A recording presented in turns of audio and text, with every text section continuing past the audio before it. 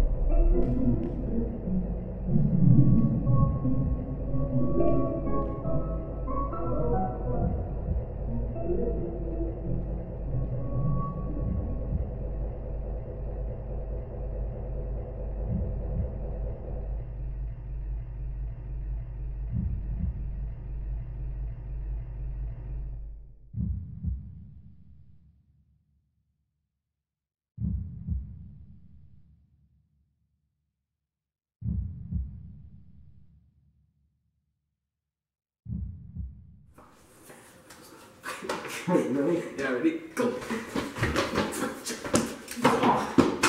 Oh, shit, you okay? Ah! He punched me. Ah! You okay? Oh, he punched me in the cheek. Oh, I actually punched him. Ow. He's gonna get me the nose. I'm bleeding. We're probably gonna end up using that. Yeah, probably. Hold up, let me check. It's not bad. That's fine.